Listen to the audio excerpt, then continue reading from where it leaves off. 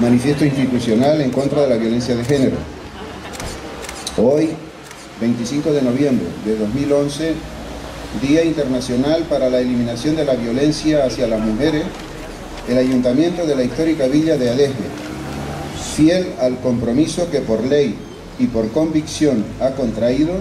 que es el de hacer posible la plena igualdad de mujeres y hombres, manifestamos abiertamente nuestra más firme y unánime repulsa ante la violencia de género en cualquiera de sus formas y manifestaciones una violencia vinculada a un arraigado modelo social que nos impone la desigualdad, determinando cómo debemos ser los hombres en contraposición con las mujeres y que ha sustentado y legitimado la violencia hacia las mujeres durante siglos.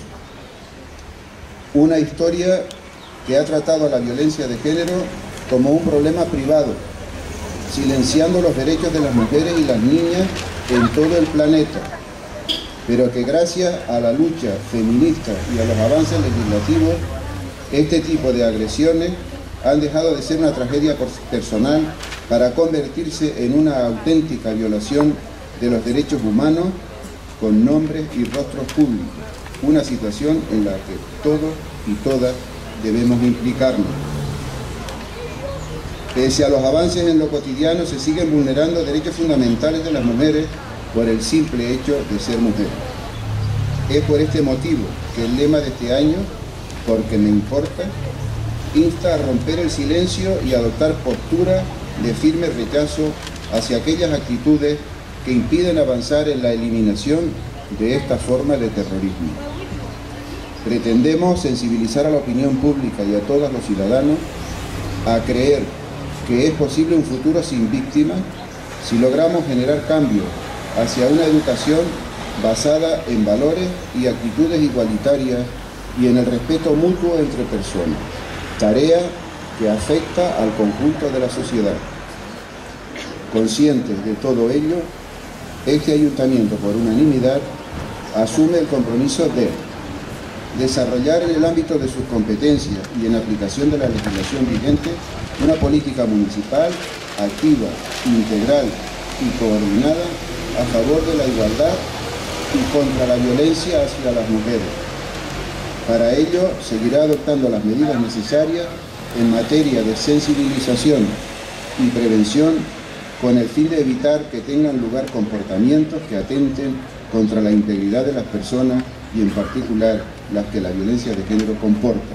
con especial atención a los jóvenes y adolescentes. Reafirmamos nuestro deber de continuar implementando cuantas acciones, medidas y recursos sean necesarios para que tanto las mujeres víctimas como sus descendientes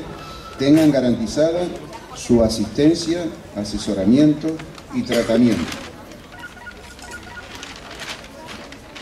Seguiremos trabajando en la promoción de medidas e iniciativas en todas las instituciones que favorezcan la convivencia, particularmente lo que nos compete en este municipio, y la resolución pacífica de conflictos en todos los ámbitos de la vida. Y de nuevo, poniendo el foco de atención en la juventud, seguiremos impulsando acciones para dotar a las y los jóvenes de los recursos necesarios para conocer, reconocer y cambiar actitudes sexistas y animarles a tener un papel activo en la lucha contra una violencia que ya se ha cobrado demasiadas víctimas. Por último, invitamos a la ciudadanía y de manera especial a la juventud a seguir participando activamente, plantando cara a la violencia y a luchar por lo que es justicia, la igualdad plena y efectiva para todas las personas.